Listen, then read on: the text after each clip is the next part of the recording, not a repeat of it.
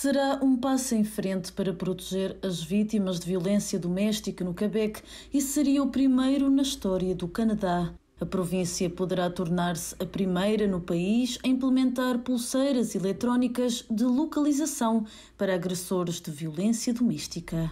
O projeto de Lei 24 foi apresentado em Assembleia Nacional na última quarta-feira pela Ministra Provincial da Segurança Pública, Genevieve Guilbeault, que garante que o novo programa vai salvar vidas. Em 2021 foram registadas pelo menos 17 mortes de mulheres às mãos dos seus parceiros íntimos no Quebec e as autoridades provinciais estão agora a tentar evitar mais tragédias como essas. As vítimas passariam também a carregar um pequeno dispositivo que, quando pressionado, emite um alerta para agentes de autoridade caso o agressor se aproxime delas. As pulseiras não serão atribuídas automaticamente, sendo que caberá a um juiz tomar essa decisão e a própria vítima também dará consentimento. O Canadá pode vir a ser introduzido a esta tecnologia e juntar-se a outros seis países do mundo, incluindo Espanha, que lançou as pulseiras em 2009.